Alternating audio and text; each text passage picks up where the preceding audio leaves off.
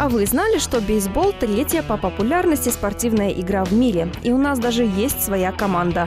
Тем не менее, несмотря на такую популярность, правила этой игры считают уж слишком запутанными. Так что мы заглянули в гости к нашим бейсболистам. Попытаемся понять, чем же эта игра завоевала столько сердец.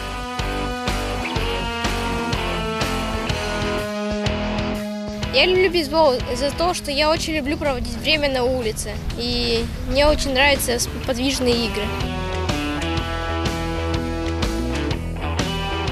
За то, что это интересно, занимательно. Это очень динамичная игра, и в ней очень много схем. Там не как в футболе, например, просто пинаешь мяч. Там очень много тактик. Самое сложное в этом виде спорта – название ролей в команде. Правда, при минимальных знаниях английского языка все становится понятным. Например, кетчер значит ловить. Задача этого игрока – поймать мяч. Термин «беттер» означает «сильный удар». Собственно, именно поэтому игроку нужно отбить мяч при подаче, после чего беттер становится раннером. Суть в том, чтобы занести очки, нужно, чтобы раннер хорошо ударил и пробежал на базу. Занял свою позицию на первой базе, он следующий выходит на вторую базу и на третью. При хорошем ударе можно занять сразу две базы. Потом, когда следующий раннер выходит, отбивает, он отбил, и очко уже заносится в дом. Вот тогда засчитывается одно очко. Дом – это первоначальная... Это первоначальная да, точка, откуда мы выходим, отбиваем мяч.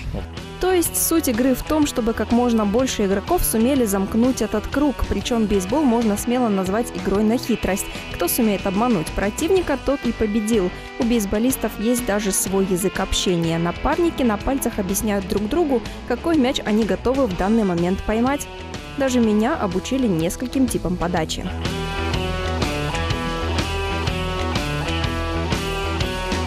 Кажется, и есть во мне задатки бейсболиста. Осталось проверить свои силы в настоящей игре. Тренер предложил занять роль беттера. И сказать честно, играть в бейсбол – это одно удовольствие. Чувствуешь прилив энергии и невероятный азарт. Кажется, эта игра может понравиться даже тем, кто не особо близок со спортом.